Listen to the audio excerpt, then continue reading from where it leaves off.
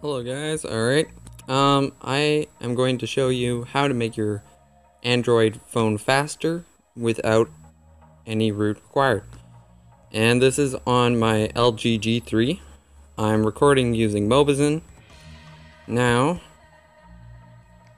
I'm going to show you the first step.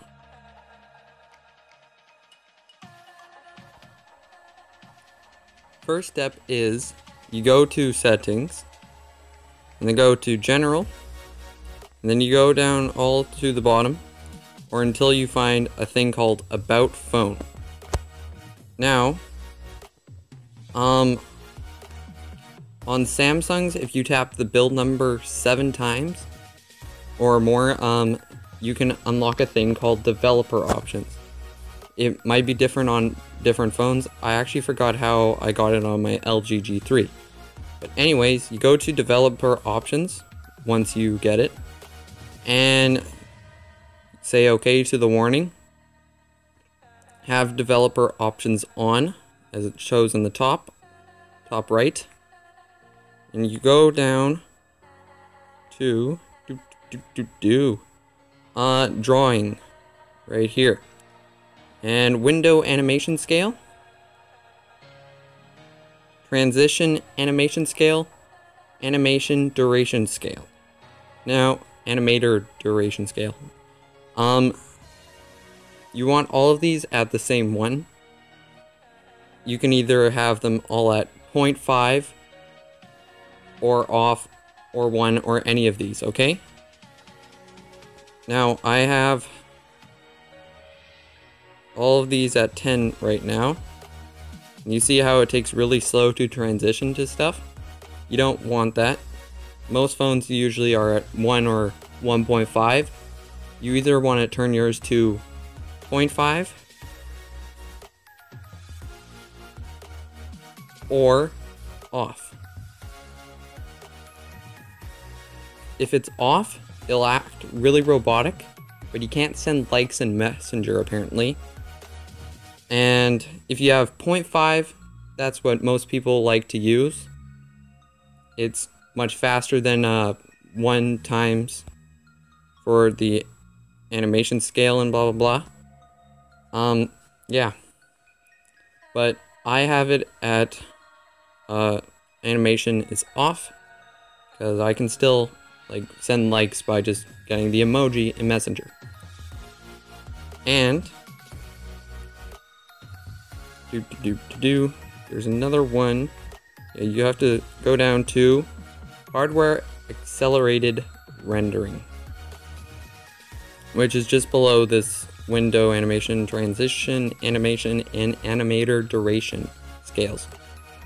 Whole thing. And uh, go to force GPU rendering, and it says use 2D hardware acceleration in applications. Um, I like to use it. It helps um, all my apps be much more uh, faster and they lag a lot less. So this is very recommended. Helps a lot with Asphalt 8 for some weird reason, even though it is a 3D game. Step 2. Now, this is the part where you want to get apps. You can either get Greenify, which doesn't really help for me. You can get um, DU and Optimize. Um, this helps optimize your phone so it's much faster. Um, so it optimizes the battery by cleaning up power consumption apps and high CPU usage apps. And it's great if you have, say, like an LG G3 that uh, you use the CPU. Like, you do the whole, like, thing where you go to, uh, sorry about this, uh, you go to phone cooler, and it'll find, like, the apps that are heating your phone. And since LG G3s tend to heat up a lot, it's really good to use this.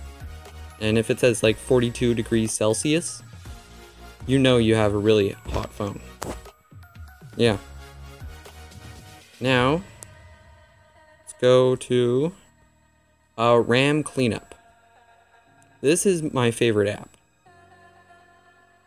Um, Asphalt 8 and tons of other uh, apps that I have, uh, they use a lot of RAM. And the more RAM you have available, the smoother everything on your phone will be. So you just tap it, get tap the RAM cleanup thing, and yeah, it'll just clean up all your RAM. At least it says it does that, and it does. Come on, keep doing it. Keep doing it. Yeah, boy. Yeah, boy. Yeah, okay. And let's just get tap. Okay. Alright. Um, other than doing those steps and stuff, and, uh, like, um, cleaning storage and stuff, um, that's basically all you can do to uh, have your phone be much faster on Android without any root required. Alright, peace out.